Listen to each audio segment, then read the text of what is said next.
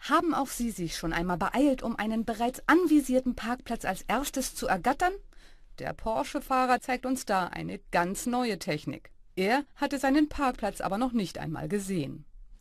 Der Wagen war offenbar von der im linken Bildrand zu sehenden Autobahn abgekommen, durch den Grünstreifen gecrasht und hatte sich dann über die Parkplatzmauer überschlagen, um am Ende punktgenau auf allen vier Reifen auf dem Parkplatz zu landen. Dieses Überwachungsvideo ist erst vor einigen Tagen im Internet aufgetaucht und wird seitdem von vielen kommentiert. Die meisten User überrascht an diesem Clip natürlich ganz besonders, dass der Porsche-Fahrer einige Sekunden nach dem schweren Unfall scheinbar unversehrt aus seinem Wagen steigt und sich dann nur für den Schaden an seinem schönen Porsche interessiert. Der Mann muss doch wirklich einen Schutzengel gehabt haben